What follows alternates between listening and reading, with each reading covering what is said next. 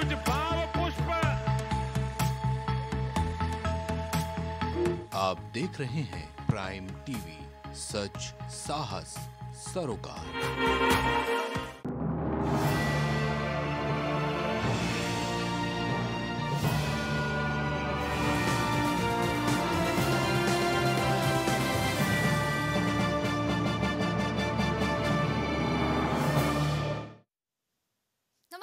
स्वागत है आपका प्राइम टीवी में। मैं हूँ आपके साथ मुस्कान अजमानी चलिए रुक करते हैं कुछ बड़ी खबरों की ओर। सूबे के उप मुख्यमंत्री केशव प्रसाद मौर्य सुल्तानपुर पहुँचे। नगर की पुलिस लाइन में उनका हेलीकॉप्टर लैंड हुआ। इस दौरान जिला अध्यक्ष समेत भाजपा विधायकों ने केशव प्रसाद मौर्य का जमकर स्वागत किया। कार्यक्रम के बाद deputy CM Keshav Prasad Maurya media से रूबरू होते हुए उन्होंने कहा कि सरकार में अवैध अतिक्रमण करने वालों पर कार्रवाई की जाएगी और अगर माफियाओं ने कब्जा किया होगा तो उनकी संपत्ति पर बुलडोजर ज़रूर चलाया जाएगा। जो कब्जे में होंगे, मैंने कहा वो खाली करेंगे। अवैध कब्जे माफिया कब्जा किया होगा, बुलडोजर चलाएँगे। गरीब किया होगा तो उनके लिए वैकल्पिक प्रबंध करके तब खाली कराएँगे। नहीं, दो बार नहीं, चार बार हारे। आप दो बार क्यों कह रहे हो? 2014 में हारे 2017 में हारे 2019 में हारे 2022 में हार का चौका लगा चुके हैं। अभी वो बार बार हार का अपना कीर्तिमान स्थापित करेंगे।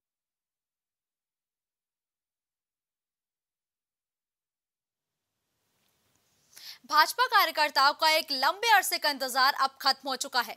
एक कमरे में चलने वाला भाजपा कार्यालय अब करोड़ों की बिल्डिंग में स्थानांतरित होने जा रहा है, जिसका उद्घाटन भाजपा राष्ट्रीय अध्यक्ष जेपी नड्डा आगामी 10 जून को गोरखपुर से वर्चुअली करेंगे।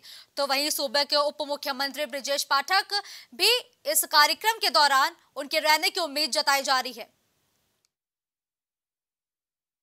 भारतीय जनता पार्टी का कार्यालय माननीय जेपी नड्डा जी 10 जून को गोरखपुर से करेंगे। और सात कार्यालय जो है, उसमें रायबरेली भी है। और इस रायबरेली ज़िले कार्यालय का उद्घाटन माननीय उप मुख्यमंत्री ब्रजेश पाठक जी करेंगे। साढ़े ग्यारह से साढ़े बारह। इसके पहले हम लोग हवन पूजन करेंगे। उसके बाद माननीय ब्रजेश पाठक जी के द्वारा कार्यालय का उद्घाटन होगा। कानपुर के विधायक सुरेंद्र मैथानी ने एक बयान देते हुए कहा कि व्हाट्सएप ग्रुप के ज़रिए ज़िले का माहौल बिगाड़ने की कोशिश की गई।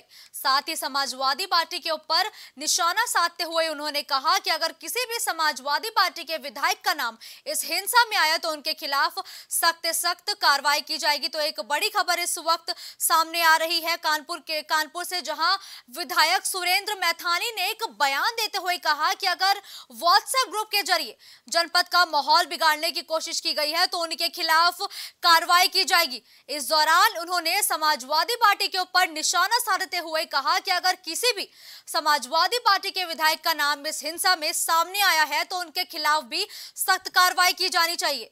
तो आपको बताते चले कि कानपुर में हुई हिंसा को लेकर जहाँ एक तरफ़ पुलिस प्रशासन पूरी तरह से अलर्ट नज़र आ रहा है तो वहीं अब बयानों का भी खेल जोरों शोरों से चल रहा है। देखिए, जिस प्रकार से समाचार पत्रों में ये ध्यान में आया है कि हमारे समाजवादी पार्टी के जो भी विधायक हैं, अगर उन्होंने इस प्रकार की दंगे में किसी को भी व्हाट्सएप में एडमिन बन करके और किसी भी प्रकार के कानपुर के वातावरण को बिगाड़ने में यदि उनका हाथ हुआ तो मैंने कमिश्नर महोदय से कानपुर से बात करी है और उनसे कहा है कि आप इसकी जाँच कर लें और कानून संबद्ध कड़ी कार्रवाई इन पर होनी चाहिए। कोई भी व्यक्ति सरकार को बदनाम करने के लिए कानपुर का वातावरण खराब करने के लिए या उत्तर प्रदेश को बदनाम करके और पूरे देश में हमारी छवि खराब करने का यदि कोई काम करता है तो प्रशासन पे भी प्रश्न है, सरकार पे भी प्रश्न है और आम जनता के लिए बड़ी मुसीबत का कारण बनता है। इसलिए जाँच करने के उपरांत जो भी तथ्य सामने निकल करके आए, कानून संपत्ति पर कड़ी कार्रवाई की जाए। देखिए, जिस प्रकार से समाचार गोंडा ब्लॉक मुझैना में ब्लॉक प्रमुख चुनाव आज संपन्न हो रहा है। इस दौरान ब्लॉक प्रमुख के चुनाव को सकुशल संपन्न कराने के लिए डीएम और एसपी ने सुरक्षा व्यवस्था का जायजा लिया। और एसपी संतोष कुमार मिश्र ने कहा कि चुनाव को पूरी तरह निष्पक्ष और शांतिपूर्ण ढंग से संपन्न कराए जाएँगे, जिसके लिए सुरक्षा व्यवस्था के कड़े इंतज़ाम भी किए गए हैं। आज धानेपुर ब्लॉक ब्लॉक मुजहना में ब्लॉक प्रमुखी का चुनाव है। उसकी प्रक्रिया 11 बजे से लेकर 3 बजे तक चलनी है। मतदान का कार्य सुचारू रूप से चल रहा है। शांति व्यवस्था बनी हुई है। यहाँ पर पुलिस और प्रशासन की व्यवस्था बहुत अच्छे तरीके से की गई है। बैरियर बनाए गए हैं आउटर कॉर्डन बनाया गया है, इनर कॉर्डन बनाया गया है और हमारे मैजिस्ट्रेट और पुलिस पर्याप्त मात्रा में लगाए गए हैं। जिससे कि कहीं से भी कोई भी अशांति वाली व्यवस्था ना होने पाए। यहाँ पे चुनाव है, उसको सकुशल संपन्न कराने के लिए हम और डीएम साहब यहाँ पे कैंप किए हुए हैं और साथ ही साथ हमारी पूरी टीम है एडीएम साहब एएसपी साहब और कई तीन सीओ लगाए गए हैं। इसके अलावा बारह थानाध्यक्ष लगाए गए हैं, सब इंस्पेक्टर, सिपाही, मजिस्ट्रेट तक भी लगे हुए हैं और ये सुनिश्चित किया जा रहा है कि ये चुनाव सकुशल ढंग से संपन्न कराया जाए और यहाँ पे एंटी राइट से लेके दंगा नियंत्रण की ड्रिल करवा के भी यहाँ फोर्स को तैनात किया गया है। स्पेशल क्यूआरटी टीम भी तैनात की गई है। और एक तरीके से ये आज का अभ्यास जो है हमारा एक ड्रिल है, जो फ्राइडे को आने वाली नमाज़ है, उसके दृष्टिगत भी एक हम लोग यहाँ पे ड्रिल कर रहे हैं। यूपीएससी सिविल सर्विस की परीक्षा का तीन मई को रिज़ल्ट आया था, जिसमें बिजनौर जनपद की तीन बेटियों ने जनपद का नाम रोशन किया था।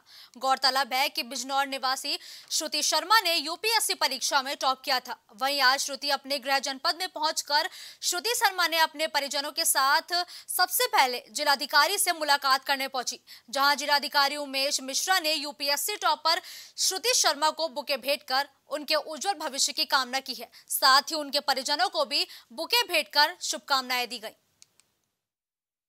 ऐसे मेरा जो गाँव है, वो बास्टा है चांदपुर के पास।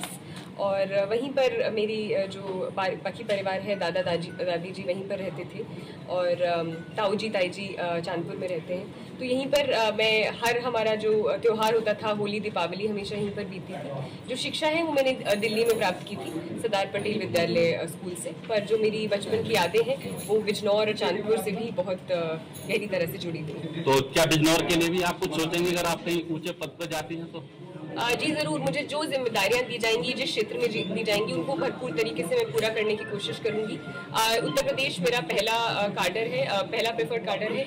होपफुली उम्मीद है कि मुझे शायद इसी इसी प्रदेश में सेवा करने का मौका मिले। खबर उन्नाव से है जहाँ रिश्तों को शर्मसार कर देने वाला मामला सामने आया। बता दें कि एक दलित किशोरी का शव रेल के पटरी के किनारे मिला था। किशोरी के शरीर पर आठ चोट के निशान थे और निजी अंग में भी गहरे जख्म थे। जब स्वाद टीम ने इस मामले का खुलासा किया तो पता चला कि किशोरी को पिता ने ही बेटी के साथ दरिंदगी करके उसकी हत्या कर दी थी। वह पूरे घटनाक्रम में पिता के अलावा उसकी माँ भी शामिल रही। पुलिस में आरोपियों को गिरफ़्तार करके जेल भेजा और स्वाट टीम को पंद्रह हज़ार रुपए के इनाम देने की भी घोषणा की गई है।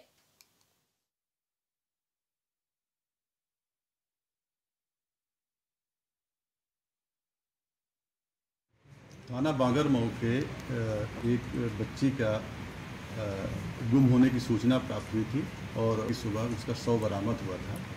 इस संबंध में जब गहराई से छानबीन की गई तो और उसकी विवेचनात्मक कार्रवाई की गई तो उस समय जो है उसके माँ बाप के जो अभिकथन थे, उनके बयान थे, उसमें काफ़ी भिन्नता पाई जा रही थी। आज जब उनसे गहराई से पूछताछ की गई तो जो है बच्ची के पिता के द्वारा ही उसकी हत्या की गई। कौशाम्बी ज़िले में एक हैरान कर देने वाली घटना सामने आई है, जहाँ ब्लैकमेलर की धमकियों से तंग आकर एक नाबालिग युवती ने फांसी लगा ली और फिर इलाज के दौरान उसकी मौत हो गई। दरअसल, नाबालिग युवती को आरोपी ने प्रेम जाल में फंसाकर धोखे से उसका अश्लील वीडियो बना लिया था और वीडियो वायरल करने की धमकी देकर आरोपी बीते दो साल से उसका शोषण कर रहा था, जिसके बाद अब परेशान नाबालिग युवती ने फांसी लगाकर अपनी जीवन लीला समाप्त कर ली है।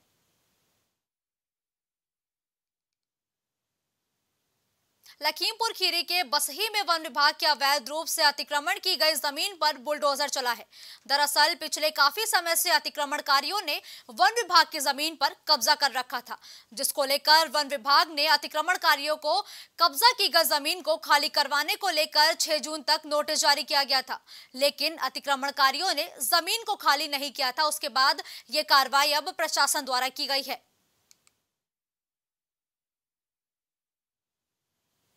अवैध अतिक्रमण पर लगातार प्रशासन का बुलडोजर चल रहा है, जबकि बीते दो हफ़्ते पहले डीएम डॉक्टर उज्जवल कुमार ने सत्तावन नामजद लोगों को नोटिस जारी कर अल्टीमेटम भी दिया था। आपको बता दें कि गोंडा में डीएम कार्यालय से महज चंद कदमों की दूरी पर अंबेडकर चौराहे पर बीते दो हफ़्ते पहले डीएम डॉक्टर उज्जवल कुमार ने सत्तावन लोगों को नोटिस भेजकर राजस्व विभाग की ज़मीन पर मालिकाना हक जमाने वाले दुकानदारों को ज़मीन खाली करने का अल्टीमेटम दिया था। वह इस मामले पर दुकानदारों का कहना है कि बैनामी का पेपर होने के बावजूद जिला प्रशासन उनकी ज़मीन को फर्जी बता रहा है। सूबे के मुखिया योगी आदित्यनाथ, जहाँ प्रदेश के अलग अलग जिलों में जिस तरीके से अवैध अतिक्रमण थे, उस पर लगातार बाबा का बुलडोजर चल रहा है, वहीं जनपद गोंडा भी इससे अछूता नहीं रहा। हम इस वक्त मौजूद हैं अंबेडकर चौराहे पर। आपको बताते चले, दो हफ़्ते पहले जहाँ डीएम डॉक्टर उज्जवल ने एक अल्टीमेटम जारी किया था कि जो अवैध तरीके से कब्जा किए हुए हैं, उन्हें तत्काल खाली कराया जाए। और यहाँ दुकानदार जो है, वो खुद से अपना टीन सीन हटा रहे हैं, लेकिन इसी दुकानदार के लोग भी यहाँ मौजूद हैं। हम उनसे भी बात कर लेते हैं कि जिस तरीके से दो हफ़्ते पहले अल्टीमेटम दिया गया था कि वो जो अवैध तरीके से कब्जा किए हुए हैं, उन्हें खाली करा दें। इनकी क्या कुछ राय है? क्या नाम है आपका? हमारा नाम उमा शंकर है। ये हमारी बहू के नाम से है, शिल्पी देवी के नाम से। हमने इसको बैनामा लिया था। सीताराम चपरासी थे डीएम साहब के, सुप्रू साहब के। उनसे हमने बैनामा लिया था। और उनकी किस्त जमा एक पाँच हज़ार रुपये एक चार हज़ार चार सौ चौवालीस रुपये फ्री होल्ड का पैसा जमा है। आपकी दुकानें हैं और इसको भी खाली कराने के लिए प्रशासन यहाँ आई है, क्या लगता है आपको? क्या बताया जाए भैया, अवैध कब्जे के नाम पे सभी को डराया धमकाया जा रहा है, किसी की कोई सुनवाई नहीं हो रही, किसी के कोई पेपर नहीं जाते जा रहे हैं, बड़े आदमी हैं, नेता लोग हैं, उनका कोई वो नहीं है, केवल छोटे आदमी, छोटे व्यापारी जो यानी सरकार के साथ बराबर कदम से कदम मिला के खड़े हैं, समय पे टैक्सेस देते हैं, समय पे अपना सब कुछ करते हैं, हर तरीके से सरकार के साथ में उनको ही तंग किया जा रहा है, हर आदमी तंग कर रहा है उनको। खबर अलीगढ़ से है, जहाँ पैगंबर मोहम्मद पर टिप्पणी करने वाली नुपुर शर्मा पर भाजपा की कार्रवाई का स्वागत करने वाली पूर्व सपा नेत्री और वरिष्ठ समाज सेवी रूबिना खानम ने अकबरुद्दीन ओवैसी के बयान पर कार्रवाई नहीं किए जाने पर अब सवाल उठाए हैं। इस दौरान उन्होंने कहा कि जब अकबरुद्दीन ओवैसी जैसे नेता द्वारा देश के सौ करोड़ हिंदुओं के आराध्य और भारतीय संस्कृति के प्रतीक श्री राम और देवी सीता का अपमान किया जाता है और ऐसे लोगों पर कोई कार्रवाई नहीं होती है और वो देश की विधानसभा में जाकर बैठते हैं। नुपुर शर्मा प्रकरण पर मैं ये कहना चाहती हूँ कि नुपुर शर्मा ने जिस तरह से हमारे प्रॉफिट मोहम्मद साहब के ऊपर अपमानजनक टिप्पणी की है, उनकी अपमानजनक भाषा का प्रयोग किया है। इससे मैं बहुत आहत हूँ, मुझे बहुत दुख हुआ है और मैं इसकी कड़े शब्दों में निंदा करती हूँ। क्योंकि किसी भी धर्म के आराध्यों का अपमान करना हमारे देश की संस्कृति नहीं है। तो मैं ओवैसी साहब से यह पूछना चाहती हूँ कि ओवैसी साहब, जब आपकी पार्टी के नेता और विधायक जब 100 करोड़ हिंदुओं की आस्थाओं का अपमान करते हैं, उनकी धार्मिक भावनाओं को भड़काने का काम करते हैं तब आपने आ, अपनी पार्टी के नेता पर अकबरुद्दीन ओवैसी पर कोई कार्रवाई की? उन्हें क्या पार्टी से निष्कासित किया?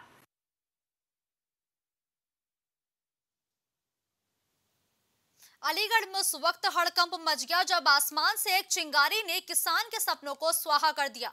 आपको बता दें कि किसान अपने पशुओं को बांधता था जहाँ पशु सहित सामान भी रखा था। इस दौरान घर के ऊपर से विद्युत विभाग की लाइन से चिंगारी निकली, जिसकी वजह से घर में आग लग गई और एक पशु समेत हज़ारों का सामान भी इस दौरान जलकर राख हो गया। ये हमें अभी प्रधान जी द्वारा खबर मिली कि यहाँ आग लग गई है और दो पशु जल गए एक की मौत हो गई है। पड़िया की एक गाय घायल है पूरी तरह से। अच्छा। इसका इलाज कर दिया गया है हमारे द्वारा मौके पे आके। और फायर ब्रिगेड भी आई थी लेकिन जब तक आग पर काबू पा लिया गया। तो काम से आए थे। काम पे आते हुए सो हमने यहाँ बैठे थे। बैठे थे सो हम यहाँ से कीक मारे थे आँच भर रही थी। कीक मार से हम भाजे पूरा मोहल्ला आ गया। पूरा मोहल्ले ने पानी मार किया है। लाइट गई और का नाम हम घुसे उसमें और हमने पानी मार किया है और एक बड़ी गैया को बाल निकाल लिया है और पड़िया जर गई उसमें। चंदौली से है, जहाँ चकिया कोतवाली क्षेत्र के सिकंदरपुर गोलहड़िया मोड़ के पास मंगलवार की देर रात डंपर और स्कॉर्पियो की भिड़ंत हो गई। इस घटना में चकिया के भाजपा विधायक और गनर गंभीर रूप से घायल हो गए। वहीं मौके पर ग्रामीणों ने तत्काल इसकी सूचना पुलिस को दी और मौके पर पहुँची पुलिस ने तत्काल घायलों को प्राथमिक स्वास्थ्य केंद्र में भर्ती कराया, जहाँ भाजपा विधायक की गंभीर हालत को देखते हुए चिकित्सकों ने उन्हें ट्रॉमा सेंटर के लिए अब रेफर कर दिया है। चकिया विधायक माननीय श्री कैलाश खरवार आचार्य जी अपने स्कॉर्पियो से थाना चकिया अंतर्गत अपने आवास पर जा रहे थे। तभी रास्ते में गोलिया पेट्रोल पंप के पास उनकी स्कॉर्पियो गाड़ी एक डंपर से टकरा गई जिसके उपरांत दुर्घटना की जानकारी होते ही एसपी, एडिशनल एसपी ऑपरेशन क्षेत्राधिकारी चकिया और इंस्पेक्टर चकिया तत्काल मौके पर पहुँच गए। माननीय विधायक जी एवं उनके साथ अन्य घायलों के उपचार हेतु तत्काल उन्हें कम्युनिटी हेल्थ सेंटर चकिया ले जाया गया।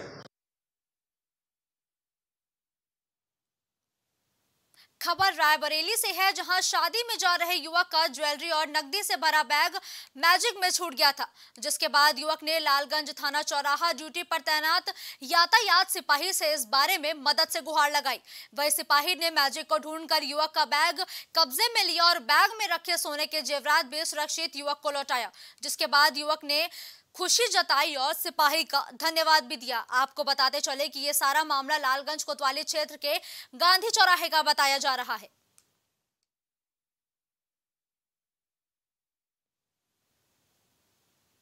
फ़िलहाल इस बुलेटिन में इतना ही। देश और प्रदेश की तमाम बड़ी खबरों के लिए आप देखते रहिए प्राइम टीवी।